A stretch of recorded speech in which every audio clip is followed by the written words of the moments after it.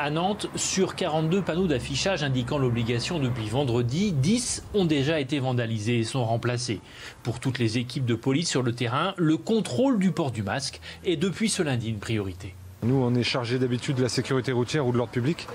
Mais effectivement, on participe à l'effort de guerre euh, sur la mission Covid. Je pense que les panneaux qui ont été implantés par la ville notamment et euh, toute la pédagogie qui a été faite autour de week-end est aujourd'hui comprise de nos concitoyens, donc on rentre aujourd'hui dans une nécessité de verbalisation.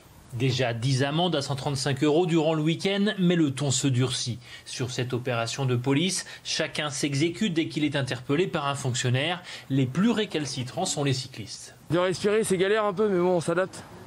Parce qu'on n'a pas le choix. C'est comme ça pour tout le monde. Je pars d'une zone où on n'est pas obligé de mettre le masque. Donc je fais comment? Moi je roule, je mets le masque en roulant, je le renlève après pas trop comment faire. Plusieurs associations de défense du vélo ont déjà exprimé leur mécontentement. Le masque à vélo, hormis la gêne, n'apporte rien positivement, puisque de toute façon, la distanciation physique, elle est déjà apportée par le vélo en lui-même. Il est nécessaire de l'inspecter également en vélo, puisqu'on croise les piétons sur les zones concernées. Mais l'argument n'est pas recevable pour les associations nantaises qui ne comprennent pas pourquoi les cyclistes parisiens ne sont pas soumis à la même contrainte.